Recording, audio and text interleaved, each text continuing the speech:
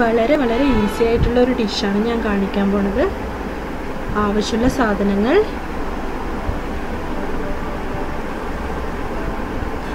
മല്ലിപ്പൊടി മുളക് പൊടി മഞ്ഞൾപ്പൊടി. ഒരു കടായിൽ എണ്ണ ഒഴിച്ചിട്ട് എണ്ണ ചൂടായതിനു ശേഷം അതിലോട്ട് നുറുക്കി വെച്ചിരിക്കുന്ന ചെറിയുള്ളി ഇരുപതെണ്ണം എടുത്തിട്ടുണ്ട്. ചേർക്കുക. കറിവേപ്പില ഇട്ടുകൊടുക്കുക നന്നായി ഒന്ന് വഴറ്റുക. രണ്ട് മൂന്ന് സെക്കൻഡ്സ് വഴറ്റിയതിന് ശേഷം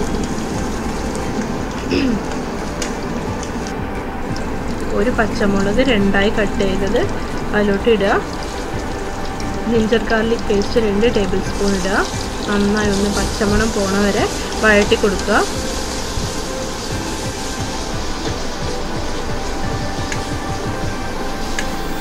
പച്ചമണം പോയതിന് ശേഷം രണ്ട് തക്കാളി നുറുക്കി വെച്ചത് അതിലോട്ട് ഇടുക.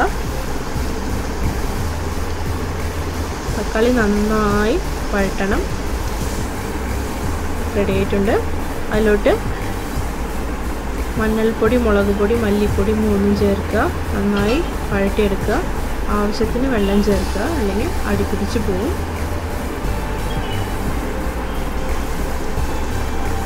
കറി റെഡി ആയിട്ടുണ്ട്.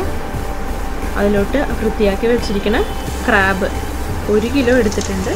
ഇട്ടിട്ട് നന്നായി ഇളക്കി കൊടുക്കുക.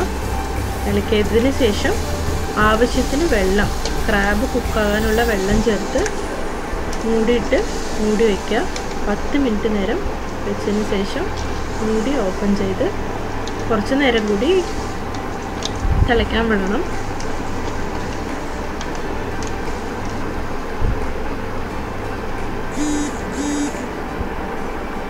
ക്രാബ് റെഡി ആയിട്ടുണ്ട്.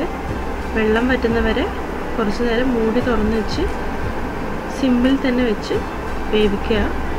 നന്നായി ഫ്രൈ ആയി വന്നിട്ടുണ്ട്. ക്രാബ് റെഡി ആയിട്ടുണ്ട്. ക്രാബ് ഫ്രൈ നല്ല ടേസ്റ്റിയാണ് കേട്ടോ സിമ്പിളാന്ന് വെച്ചിട്ട് തെറ്റിദ്ധരിക്കല്ലേ?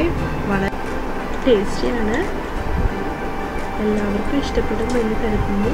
ചെയ്ത് നോക്കിയിട്ട് നിങ്ങളുടെ സജഷൻസും നിങ്ങളുടെ കമൻസും കമന്റ് ബോക്സിൽ ഇടുക. കഴിച്ച് നോക്കുക. എന്തായാലും എല്ലാവർക്കും ഇഷ്ടപ്പെടും എന്ന് കരുതുന്നു.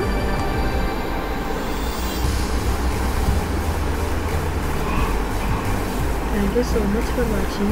Bye bye.